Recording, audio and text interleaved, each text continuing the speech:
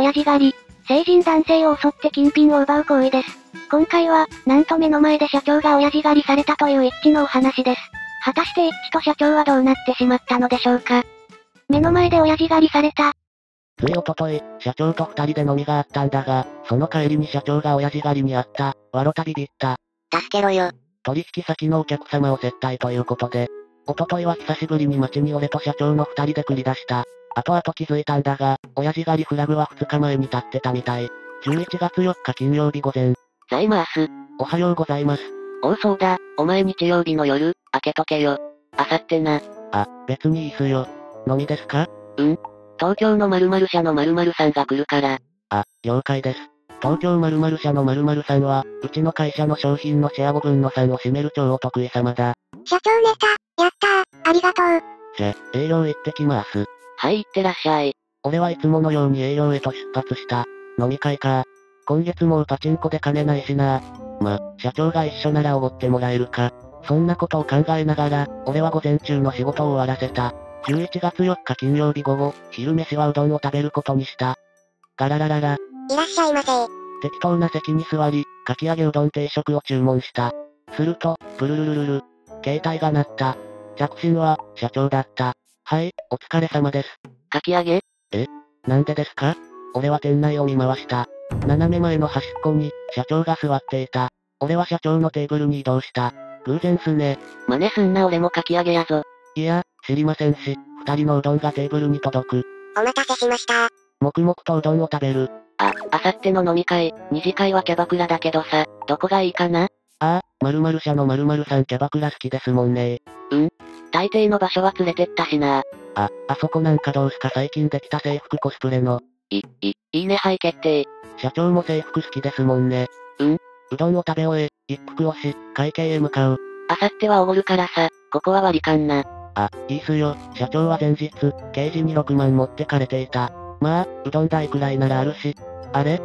あんれケツポケットに、財布が、ない。布団やから全部見てるよ。なんかシリーズになってしまった。社、社長財布がないです。うわ出た出た、確信犯やな。いや、確かにこの店入った時はあったんすけど、テーブル座って、あ、最初に座ったテーブルで財布をポケットから出して、机の上に置いたのを思い出した。最初に座ったテーブルを見る。あ、めんどくさテーブルには見るから二度キュン3人が座っている。わかりやすく髪型で言うと、金髪、茶髪、坊主。3人とも BK ファッション、年齢は19から20だろう。近くにパチンコ屋があるせいか、ここのうどん屋は結構こういう客が多い。あのー、ここに財布なかったですか？灰色の、アルマーニの財布。い、いやー、どうすかねえ、財布？あ、あったかな茶髪が椅子の下を探す素振りを見せたとき、見えた、俺の財布がパーカーのポケットに。すられてんじゃねえよ。本当によく気づくよねってか事件多いね。俗に言う、不幸体質ってやつかな。いや、ネタ体質。おい、あんじゃん、財布。え、ないっすよ。いやいや、パーカーパーカー。おい、バレてんじゃねえよ。バカだな、本当に。あ、やべ、バレた。仕方ないな、はい。返し方は気に入らなかったが、社長を待たせていたし、俺は財布を受け取り、会計を済ませた。幸い中身は一切取られていなかった。あった？財布。あ、ありましたありました。お前今日どうせ暇だろ？ああ、はい。土曜日なんで、お客様も忙しいみたいで、アポはないです。よし、じゃあちょっと付き合え。あ、はい。俺は社長の車に乗り込んだ。じゃらじゃらじゃらじゃらじゃらじゃら。パチですか？おう、お前毎月倍くらい売り上げ達成してるし、たまには息抜きだ。マジっすか？金ないのになま、頑張れ。それに、なんかお前と家に来たら勝てるんだよ。ただのジンクスじゃないっすか。俺と社長は土曜日とはいえ、割合人の少ない寂れたホールに入った。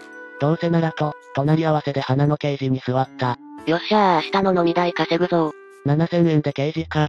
とほほ。30分後、俺と社長はなんとか運よく大当たりを引き、ニコニコしながら売っていた。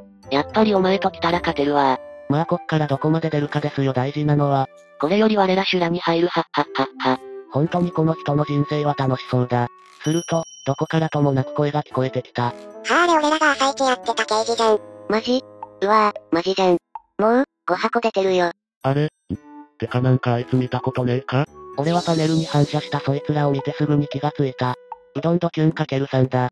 服装も変わってねえ。ねえねえ、お兄さんいくらで着きましたにゃえーとね、確か4500円くらい。マジっすか隣のおじさんは。え俺は7000円くらいやぞ。うわぁほらお前らがあと1万だからジャグラに逃げようとか言わなきゃ買ってたじゃん。お前も賛成したじゃねえか。まあまあ、ねえおじさんたち仕事は。は？今日は休みだ。ま、まあ社長が休みと言うんなら休みだろう。ドキュンかけるさんは何かを話し合い始めた。社長スペック、身長は183センチくらい、体つきはマイク・タイソン、顔はジョージ・クルーニー。初対持ち、子供3人、昔町内の青年団の会長、唯一裏の人に認められた人。サンクスでエロ本チェックしてる、花歌は刑事。そんなのが親父狩りに合うわけねえだろ。青年団の会長だったのは社長のお父さんな。あ、間違えた。昔、町内の青年団の会長で、唯一、裏の人に認められた人で、ヤクザのみかじめ止めさせたりしたのは、社長の親父さんだった。5分後、ねえねえ、本当はサボってんでしょ？会社にばらされたくなかったらさ譲れよ、その代。はぁ、いや、だからサボってパチンコしてんのバレたらやばいだろって言ってんの。嫌なら譲れ。バカだ。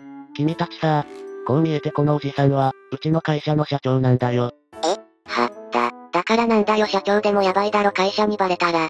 救いようのないバカガキだな、こいつら。社長が怒った。社長はとりあえず大当たりラウンドを消化し、立ち上がった。こういう社長の下で働きたい。一致のスペック、20歳、独身、一人暮らし。創立5年の会社のフル株、趣味は釣り。社長にやめとけと言われるもスレのネタのために体を張って障子を大事にするのが生きがい。座っていればこそ普通のおじさんだが、立ち上がれば身長は185センチ、顔はジョージ・クルーニー、体格はマイク・タイソンの社長。ドキュンは、たちまち縮こまった。おい、お前らせっかく俺が楽しく刑事売ってんのに水差してんじゃねえぞこら。ん譲れだ？ふざけんなよ。やめたのはお前らだろうがあ打ち切る度胸も金もねえのにぐちぐち言ってんじゃねえぞ。俺は、保有内でまた大当たりを引いた社長の台のハンドルを持つのと、自分の台の大当たりを消化するのに必死だった。さすがは錆びれたホール。そこでやっと店員が現れ、ドキュンたちは追い払われた。仕事しろクソ親父。バカ。バカアホしね。それぞれ捨て台詞を吐くあたり、まさに雑魚キャラだ。さっお待たせ刑事、長谷さん自走だぞ。まあ、あいつらの気持ちもわからんではないですけどね。ああダメダメ。お前は優しすぎる。あそこでパッシリ言ってやらんとあいつらのためになんねえよ。それから刑事は、とどまるとこを知らなかった。11月5日土曜日午後、社長11万勝ち、俺9万勝ち。気分は上々だった。いやー、やっぱり刑事は面白いなえおい。助かりました。たまにはあんなホールにも行かないけませんね。ああ、錆びれて出る気はしないけど。だがそれがいい。こうなってしまったら今日はずっと刑事に染まるのだ。社長は、じゃ、飯でも食いに行くか。昼食ってないんでペコペコっすね。俺と社長は焼肉を食べに向かった。焼肉屋に着き、座敷に案内される。席に着く俺と社長。早速注文し、次々に肉が運ばれてくる。食べていると、二つ隣に案内される団体が目に入る。え、嘘だろ。思わず米が口から吹き出した。ごめん、日付間違えてるわ。うどん食って、帰って。パチンコ行ったの土曜日午前です。では、続きどうぞ。いやありがとうございます。久しぶりですね先輩。焼肉食えるなんて思ってなかったっすよ。ドキュンたちだ。偶然とは恐ろしい。まさか2日間で3度アウトは、おう今日は俺のおごりだからな食えよ。お前らケンシロウに不可能はないのだっつってな。ドキュンかける3に加え、先輩と呼ばれるドキュンと2人のギャルが増えている。ケンシロウ。私の飛行もついてギャルは可愛くないし下品だ。社長は気づいているのか気づいていないのか、ただただ肉を食べている。そして、社長はいつの間にか酒も飲んでいる。あれ？なんという運命。茶髪が気づきやがった。めんどくさい。なあ、あれ刑事のおっさんとお兄さんじゃね？あ、マジじゃん。何言ってんの？いや、あいつら俺たちのストーカーなんですよ。昨日はうどん屋で絡んできて、今日もパチ屋にいたんすわ。しかも俺らの刑事でボロ勝ちしたんすよ。えー、キモい。ふーん。ま、今日はそんなん忘れてパッと飲んでくれよお前ら。ま、先輩がそう言うならな。お、おう。じゃ、いただきます。いえいえ、あの先輩ドキュンは割と話がわかりそうだな。いやー、うまいな。肉は食ってるか。あ、はい。いただいてます。いや、今日はお前も買ってるから割り勘だぞ。えー、11月6日日曜日午前、事件当日。俺らの刑事。おはようございます。はいざいます。昨日はごちそうさまでした。結局俺のおごりだもんな。ほんとうまいなお前は。いやいや、もらえるものは役以外はもらう主義なんで。なんだそりゃ。それより、今日っすよね。〇〇さんの接待。そうだよ。でさ、あと2、3時間で空港に着くらしいから迎え行ってあげてよ。あ、わかりました。俺はコンビニに行き、朝食を食べた。そして、空港へ向かった。〇〇空港。ちょっと早く着きすぎたな。あと45分くらいか。俺は空港のカフェで時間を潰すことにした。ここでもう一度言うが、偶然とは恐ろしい。カフェでテーブルに着く。メニューからアイスコーヒーを選ぶ。いらっしゃいま。アイスコーヒーを。げ、坊主だ。本当にストーカーなんだろ、あんた。マジ？ここの店員？何？だから？いや、まあいいや。アイスコーヒー一つ。頼むよ。あ、はい。3分を。はい。アイスコーヒー。はいどうも。お兄さんさ。いや、お兄さんさ、いつも社長といるってことは、お兄さんも偉いの？は？なんだこのバカ丸出しの質問。いや、だってただの平社員がいつも社長といないっしょああ、まあ一応営業部長だけど。マジ？へえ。若いのにすごいね。で、今から出張とか？いや、今日はお得意様が東京から来るから迎えに来たんだよ。へえ、大変だね。なんか、あ、あのさ、あの最近できたキャバクラ知ってる？制服コスプレの、あ、知ってる何？お兄さんああいうの好きなの？今晩の接待だよ。接待、好きだけど、まあまあ可愛い子揃ってるらしいよ。ふーん。ならまあ大丈夫かな。俺はアイスコーヒーを飲み終え、時間もちょうど10分前となった。〇〇さんを車に乗せ、俺は会社へと帰った。偶然怖え。いやー、いらっしゃいませ狭い会社ですが、どうぞ。あ、どうもどうも失礼ごほっしまごほす。あれ？お風邪ですか？そうなんですごほっぴょう。会社で少し仕事の話をし、〇〇さんをホテルへと送り、夜を待った。11月6日日曜日午後夜、事件当日。〇〇さん風邪ひいてたなですね今日ご飯来るでしょうかねちょ、電話してみるわ。5分を、あ、はい。はい。はい。お大事に、はい。失礼します。なしですか？おう。今日は体がだるいからやめとくってさ。そうですか。じゃあ、行くか、二人で。まあ、飯の用意してないですし、行きますか。じゃ決定。行くぞ。俺と社長はご飯を食べに向かった。今日は予約していた、寿司だ。いやー、ここの寿司はうまいなはい。うまいっすね。そういや、キャバクラ、どうする？いやー、どっちでもいいっすけど。い、行きたい。じゃあせっかくだし、行くか？い、いいですよ。行きましょう。寿司も食べ終わり、街に繰り出した。お、ここか。ハイスクール〇〇。いいねハイスクール。ああ、制服コスプレって女子高生っすか？う、うろう。ハイスクール〇〇。いらっしゃいませ。2名様ですか？こちらへ。席に着く社長と俺。ワクワクするなあ、はい。失礼します。失礼します。女が二人ついた。まあ、ブサイクではないが、かといって可愛くもない感じ。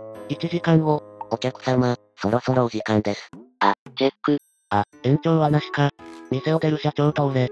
ムフフ。社長。これ、俺はキャバクラの女にメアドを書いたメモを渡されていた。え、お前も？社長もメアドをもらっていた。しかし、メモを裏返すと二人とも共通の文が書かれていた。すっごい楽しかった。うちらの仕事が終わったら4人で飲み直そう。メールしてね。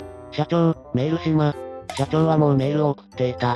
1時間後、お待たせお、来た来た。どこ行こうか？お疲れ。いいところ知ってるから、そこ行こ。俺たちは街の奥深くへと歩き出した。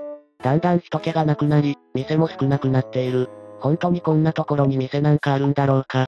この時、気づくべきだった。トラップよ。間違いないわ。来た完全に人気もなくなり、明らかに店もなくなった。はい、ストップ。ご苦労ご苦労。まんまと引っかかるもんだな。にゃ。マジか。じゃあねー。あとは、ごゆっくり。女二人は帰ってしまった。謎の三人組は、漏れなくあいつらだった。お前らバカみたいに引っかかるな。あ、早くやっちまおうぜ。おい、金、出せよ。は？君たちにあげるお金はない。帰れ。若いな舐めてんなよ。こら。俺はいきなり腹パンされた。うぐ。うわぁ、マジやんこいつら。大丈夫？お前もだよおっさん。ガス？社長も足を蹴られた。おい、お前らやめとけ。調子乗ってんじゃねえ。三人が俺に来た。こら、お前ら。ぶん、目の前の三人めがけて、ママチャリが飛んできた。いてー。ママチャリは茶髪に命中した。茶髪はもがいている。おいこらー。え？ー、正当防衛じゃー。またママチャリが飛んできた。うわ金髪も坊主も逃げ回っている。俺も立ち上がり、金髪の髪の毛を足づかみにする。ー。す、お、おい話せよ。正当防衛だよ。金髪に腹パンを入れる。思ったよりもガリガリで、一発で悶絶し、立ち上がらなくなった。うわ社長強くて安心した。おいハゲ、な、なんだよ。どうすんだ？んう、うるせえよいいから、か、金出せ。まだ言うのかお前、いいよ。やるよ、金。ええ？いくらだ？じゃ、じゃあ2万。少ね。社長は2万を出した。ほら、お、おう。最初から素直に渡せよボケ。社、社長、社長？社長はどこかに歩き出し、消えた。おい、お兄さん。あんたも出せよ。は？黙れ。社長は出したぞ。出せよ。うるせえ。う、うわーな、あ、あ、あそこです。社長が帰ってきた。なんか泣きわめきながら。え？後ろには、警官が二人。お前らか親父狩りの犯人は、え、は、や、いや、あ、あ、その金だなちょっと署まで来てもらうぞ。